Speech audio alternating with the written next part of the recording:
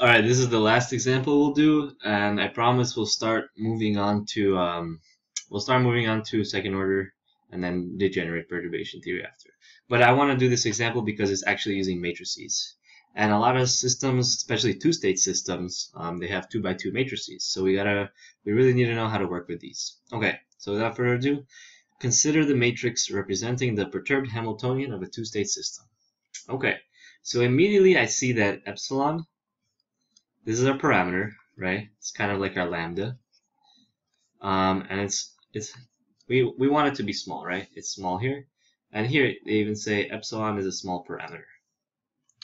Okay, um, as a side note, what does it mean for a perturbation to be small? Our whole assumption is that in perturbation theory is this perturbation is somehow smaller than the unperturbed Hamiltonian.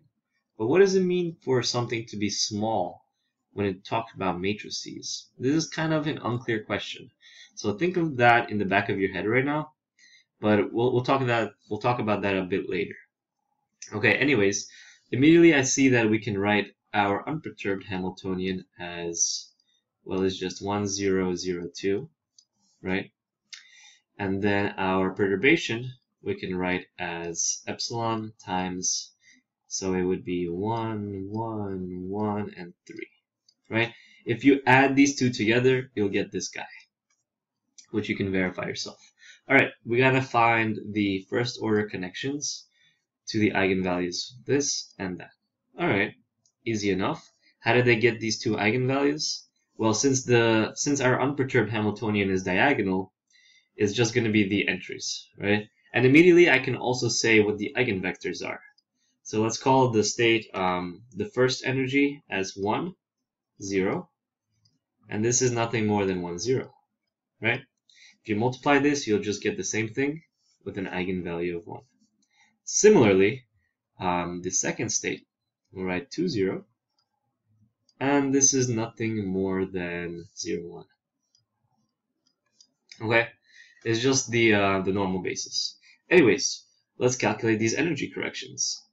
E1, 1 is going to be equal to delta H, 1, 1, right?